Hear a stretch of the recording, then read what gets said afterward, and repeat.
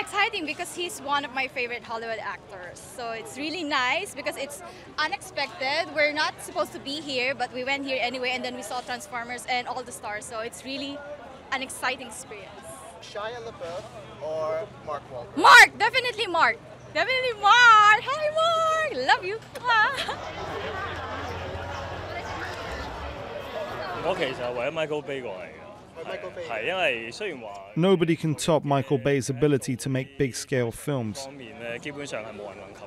从细到大咧，就系以前最中意睇商业片嗰啲时间， From when I was young until I was older, his films have made a very big impression on me. 好有嗰种印象啦。